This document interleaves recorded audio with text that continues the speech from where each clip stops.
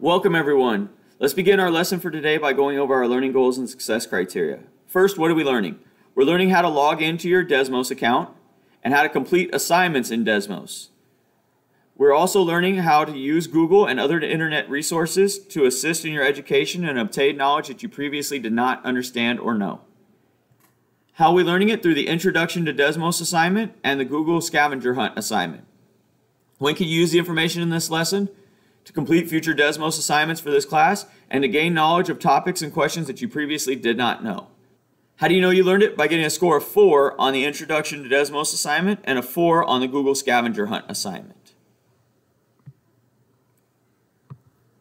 Now let's take a look at our agenda for today. We'll begin by going over our learning goals and success criteria. While we do that, you'll fill out your Get It Started. Once you've completed your Get It Started, we'll go over it together and answer any questions that you may have. Then we'll complete the Introduction to Desmos assignment.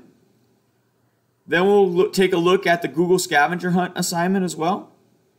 At the end of class, we'll go back over our learning goals and success criteria while you fill out your before you go. Your only homework for tonight is to finish up your Google scavenger hunt and any incomplete assignments that you may have. Let's talk now about how to complete the Google scavenger hunt. So if you notice at the top of your page you have the learning goals and success criteria. Below that there's a bunch of random questions that are here. And we're going to answer these. So the first one says, who won the 1929 Major League Baseball World Series? Now I'm going to go to Google and I'm going to type that question in. Or I can always just copy and paste it. So I'm going to go back to my Google form. I'm going to copy this and paste it in. And when I do that, it tells me that it was the Philadelphia Athletics. So I'm going to go back to my Google form and I'm going to type that in. Philadelphia Athletics. Then I'm going to move on to the next one. It says, what movie won the 1945 Academy Award for Best Picture? So I'm going to copy that into Google. So I'm going to copy that. I'm going to go up here to Google. And I'm going to paste it. And I can see that the best picture was Going My Way.